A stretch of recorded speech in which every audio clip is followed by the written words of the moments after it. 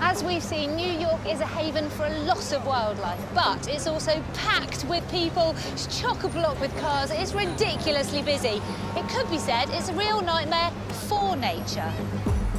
Any animal living here is constantly exposed to the hazards of the city. Towering buildings, busy streets, and millions of people. It's no wonder that every year thousands of creatures need to be saved from the city itself. I'm heading out of town to a local rescue centre to meet some of the animals who've had a complete nightmare in the city.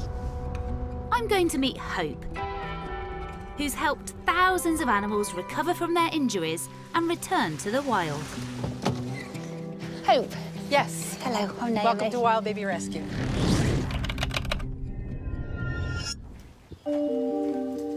Today is a special day for a group of squirrels who struggled to find a home in the big city. Far away from their forest home, they were found stranded in an attic.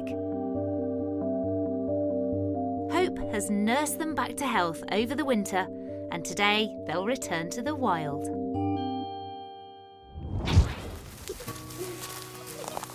Joining three Girl Scouts who are earning their nature badge by helping Hope with the release. All right, let's watch.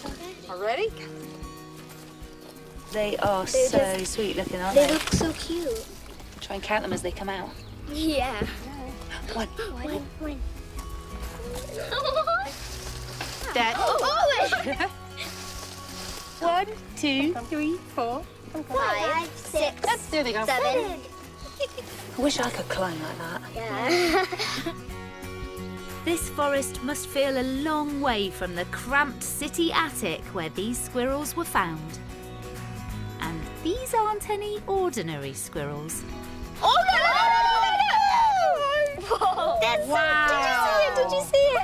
Did you see it? That's so These are flying squirrels.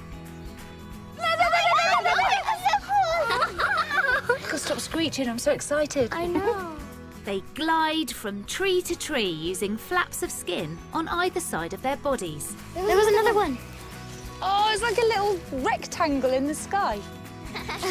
27 flying squirrels flying free again. These flying squirrels have all been a victim of a nightmare in the city, and as far as I'm concerned, anything that hurts something this cute could definitely qualify to be my worst nightmare.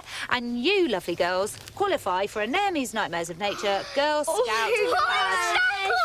This is amazing. You are oh, welcome. Hey, Hey, thank you. and one for me too. Yeah, Happy you days. definitely earned one. Thanks.